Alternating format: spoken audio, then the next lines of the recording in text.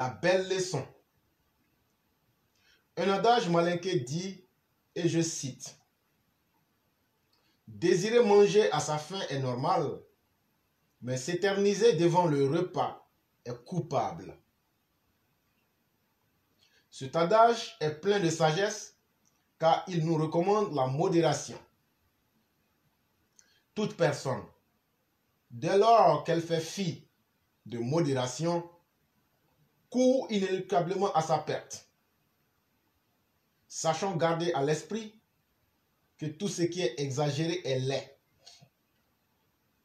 Qui, depuis l'accession au pouvoir du président Alassane Ouattara, n'a pas tiré une leçon des différents événements qui se sont succédés?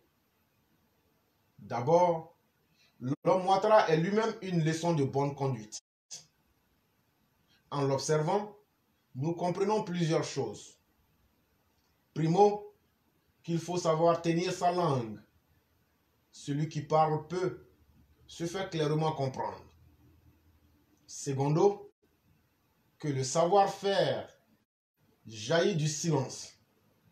Car si le beau parleur était le bon faiseur, Laurent Gbagbo aurait à lui seul construit toute la Côte d'Ivoire. Tertio, le président Alassane Ouattara, par son attitude, nous enseigne la persévérance. Il ne faut jamais lâcher prise quand vous êtes sûr d'être dans la vérité. Contrairement au président Alassane Ouattara, ses prédécesseurs sont tombés dans l'abus. Le premier s'est embourbé. Il s'est cru roi, avec des manières dignes d'un tyran. Le second s'est pris pour un cacatoès, expert en verbiage creux. Tous les deux ont eu les récompenses que confère l'excès.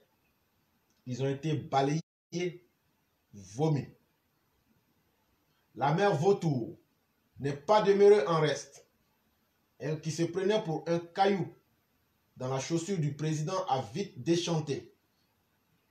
L'acharnement que cette effrontée rêvait d'imposer a été stoppé sec par des centaines de défenseurs de la vérité.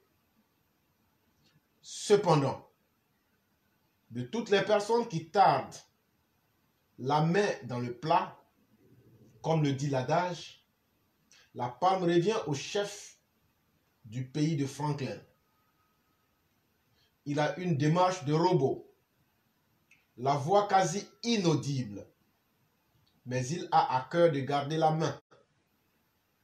Il est l'exemple douloureux de ceux qui abusent du pouvoir. Pour justifier une telle longévité, il faut travailler pour son peuple, mais ce n'est pas le cas. Il sait en cela, et c'est en cela que nous plébisciterons le président Alassane Ouattara pour qu'il continue de restaurer notre fierté ivoirienne qui avait été écornée. C'était un texte de notre mère, Madame Blanc. Nous disons merci à tous ceux et toutes celles qui écrivent constamment des textes et qui nous permettent d'édifier nos peuples et d'ouvrir la conscience.